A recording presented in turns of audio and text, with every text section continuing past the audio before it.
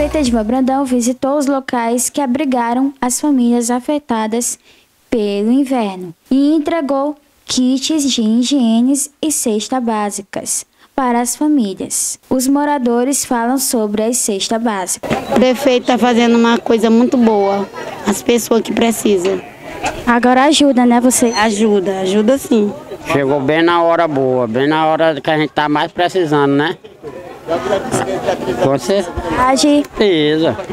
A gente não tá bom porque não é na casa da gente, mas só ele ligar, ajudar, tudo tá caro, meu filho. Tudo tá caro. Se eles der um gole d'água, um gole de café para nós, já tá de bom tamanho. Prefeito, vereador, deputado, não importa quem, quero saber que sendo de Bacabal, tá no meu coração. Bacana demais, aqui do prefeito. Eu tava bem aqui, ó, bem pegado. Vem aqui na Capira Zambi. Essa cesta aqui ajuda? Ajuda, mas pai é bom demais. Né? Ah, foi bom, né? Porque do jeito que nós estamos precisando agora, do jeito dessa enchente aí, nós estamos sem condição agora um pouquinho, né?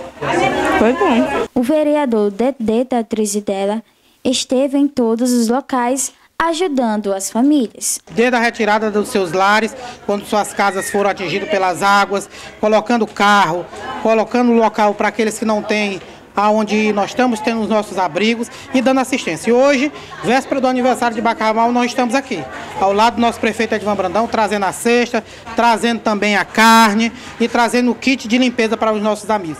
Quero dizer ao nosso povo, quero dizer principalmente aos nossos amigos, tanto da Trizidela, como do, da Avenida Mearim, como da Rua do Cajueiro, que o vereador Dedê da Atriz dela sempre estará aqui dando assistência ao nosso povo, porque esse é o nosso papel, essa é a nossa missão.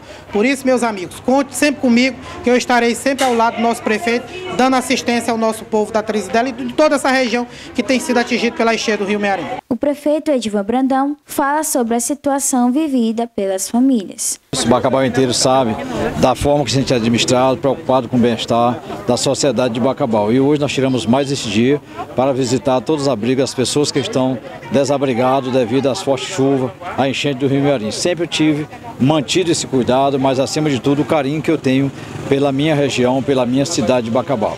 Bacabal está próximo a completar 104 anos de emancipação política e nós estamos muito felizes por ser gestor desta cidade, pela oportunidade que Deus tem me dado para me continuar cuidando desta cidade. Até o último dia do meu mandato, nós vamos cumprir aquilo que Deus entregou sobre meus ombros, esta responsabilidade de cuidar do povo de Bacabal. Tenho feito isso com muita propriedade, mas acima de tudo com muito amor e carinho que eu tenho pelo povo de Bacabal.